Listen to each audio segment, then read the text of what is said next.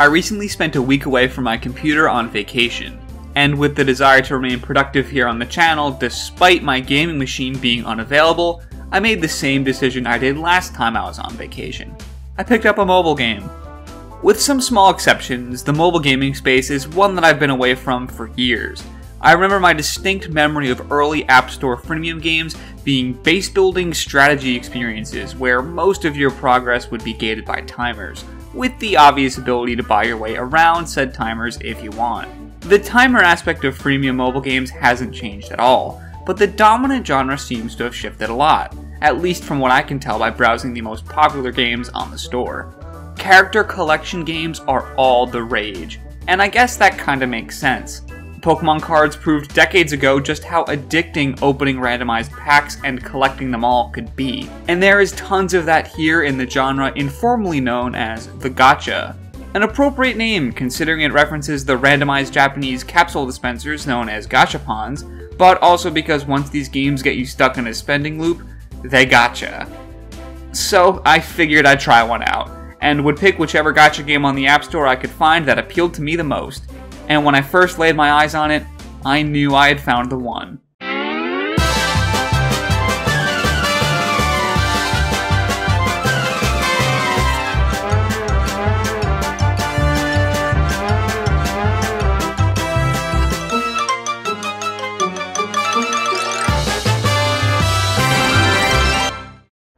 Looney Tunes World of Mayhem was released in 2018 by a mobile game studio known as Scopely. It's a turn based RPG with a huge emphasis on collection, and what you are collecting is the toons themselves. That's probably why a character collection experience is such a natural fit here. Collecting is only as fun as the collectibles, so working with an existing IP like the Looney Tunes is a huge majority of what makes this game so appealing. Here's how the general gameplay loop works. You start out with a single character, Bugs Bunny. After a brief tutorial, you move through the main campaign, this campaign is structured as a series of incrementally more challenging battles. Winning each battle unlocks resources that come in a variety of different forms, such as experience to level up your toons, and items that can unlock some of the more powerful abilities.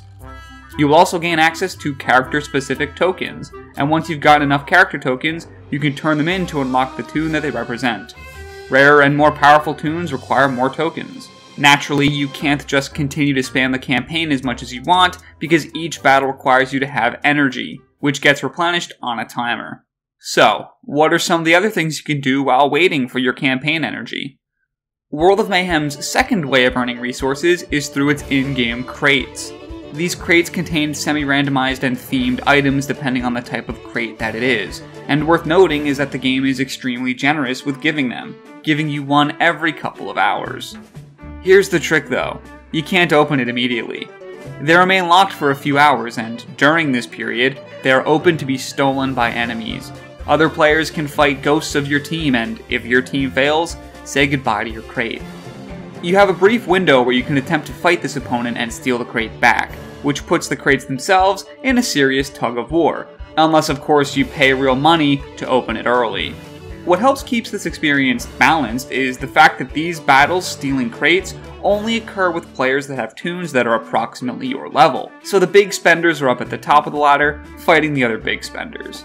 As a free-to-play player, the usual loop is to open up the app every few hours, redeem any login bonuses or rewards that are available, open up the crates that are ready, and do a few campaign missions to earn some resources. Then I would go check out my toons and level up anyone that I could, or buy some more packs of character tokens to unlock some new toons, which in turn allows me to battle stronger foes and take on harder campaign missions. The battles themselves are relatively simple, but have a good amount of depth. It's a turn-based RPG. Each team has four toons, and naturally these toons come in all different shapes and sizes.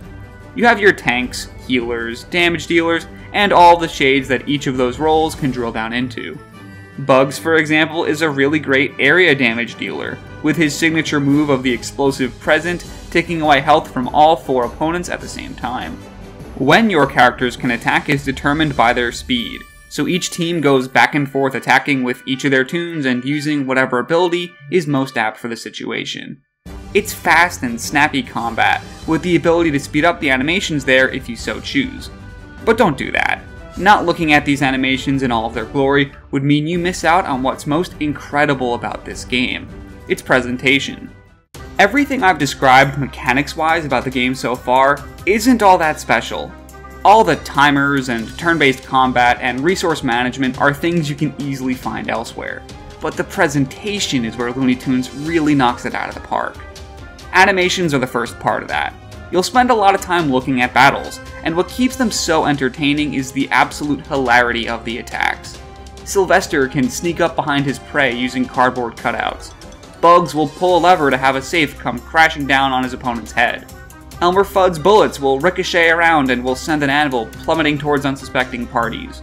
It's the same kind of slapstick comedy you'd expect from watching the Looney Tunes, and it shows just how much the developers understand the IP they were working with. And what good would the animations be if not for the toons themselves? And that's the second part of the presentation that really impresses. It has almost 140 characters, a majority of which are the same few dozen toons that have been reimagined in all sorts of funny themes. I've talked a bit about Bugs Bunny, he's sort of the core of my team right now and my strongest toon, but I also have a few different other Bugs toons. I have Mr. Bugs, a suave James Bond like Bugs whose tricky moves enable his partners. I have Barber Bugs, whose emphasis on presentation gives me stat ups as long as I can keep my team nice and healthy. There's Cowboy Bugs, the sharpshooter whose impeccable aim trait ensures that he never misses a single attack.